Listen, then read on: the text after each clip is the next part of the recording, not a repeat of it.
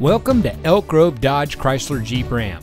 And here's another great vehicle from our giant inventory that comes equipped with leather wrapped steering wheel, fully automatic headlights, heated front seats, heated door mirrors, steering wheel controls.